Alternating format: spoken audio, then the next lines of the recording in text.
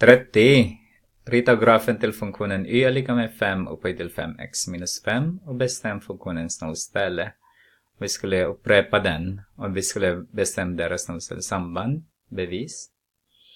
Eh, ska vi titta då? Eh, ja, innan vi, vi tar beviset då ska vi titta sambandet först. Ska vi kolla om vi kan hitta det.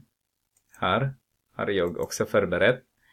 Jag ska titta först på 5 upphöjt till 5x minus 5. Det ser ut så här. Och nollställe som man hittar där, om jag tar den kanske, där. Så ser ni att det är 0,2 och, och 0. Alltså en femtedel. Så jag har 5 där, så det ska vara en femtedel. Ska vi titta på den andra. Där. Alltså 0,5. Eh, därför att det är en halv, som säger man. En dividerat med 2,5. Vad händer om det är 4 då?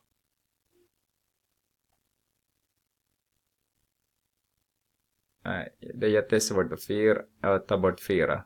Men om ni ser nu då, om jag tar fram den där. Här är 5 först. Och sen ser ni att den ändrar sig, det beror på. Och sen det blir positiv.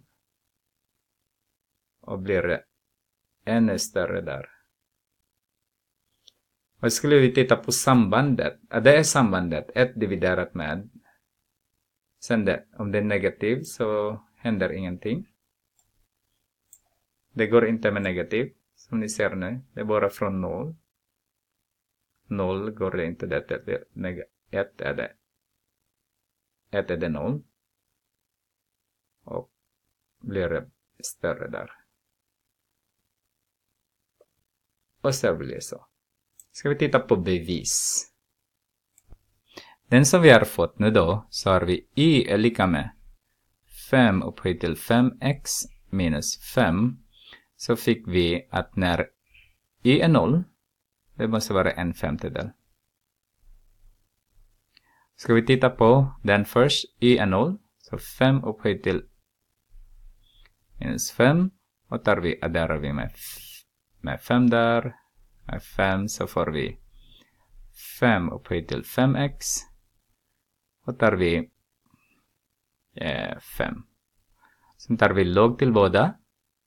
Alltså 5x log 5. 5x är log av 5. Dividerar vi båda med 5 log 5. Så har vi 5 log 5. Då har vi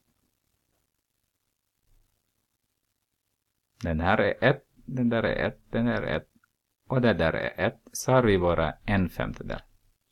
Det är en bevis. Vi tittar också y är lika med 5 upphöjt, nej 2 den här gången. 2 upphöjt till 5x är 2x, förlåt, minus 2. Och det är 0 är lika med 2 upphöjt till 2x minus 2. Om vi adderar båda led med 2. Så har vi 2 upphöjt till, nej 2 är lika med 2 upphöjt till 2x. Samma princip. Så log av 2 är lika med 2x log av 2. Dividerar vi med 2 log av 2 2 log av 2 så fick vi en halv. x är lika med en halv. Så har vi här nu då en halv och 0. Ska vi ta allmänt nu då? y är lika med a upphöjt till ax minus a. Så har vi 0 är lika med a upphöjt till ax minus a. Där har vi båda led med a. Plus a. Så har vi a är lika med a upphöjt till ax. Den här blir 0. Så har vi log av a. Har vi ax log a log av a. Där har vi det med a log av a. Log av a så har vi 1 dividerat med A. Nej, A är log av A också. Den där är 1. Så har vi X där. Så har vi 1 dividerat med A och 0. Det är nollställe. Om i den här typen av funktion. Ska vi gå tillbaka till uh, den här nu då. Som ni ser nu så får jag uh, nollställe när det är eh, upp hit nu då. Har jag nollställe.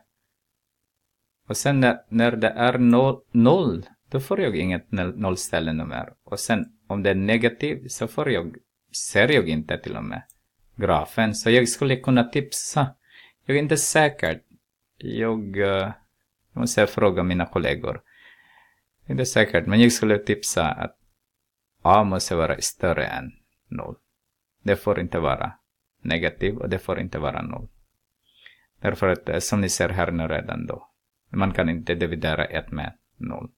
Det skulle jag tipsa att det är inte negativ. Det ska vara större än 0. Eh, och sen, eh, jo, det ska vara större än 0. Finns det mer som jag måste berätta? Ska vi kolla en gång till? Så. Noll först och sen blir det. Okej, okay, så det finns. Ja. Då är det okej. Okay. Eh, jag skulle tipsa på det sättet.